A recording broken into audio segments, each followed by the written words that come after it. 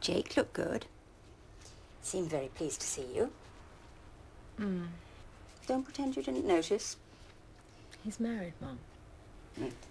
Anyway, I seem to remember when we were together you thought he was beneath me. I never said that. Ooh, of course. Sorry, I forgot. He's a big movie star now, so obviously you like him. I always liked him. I just worried about you mm, after all that happened. That was all years ago.